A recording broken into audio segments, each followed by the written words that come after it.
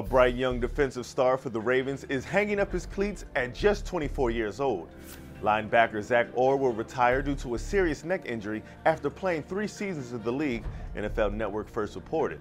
Now, Orr had played through a cracked bone in his shoulder late in 2016, but was put on IR in Week 17 after suffering a stinger against the Steelers.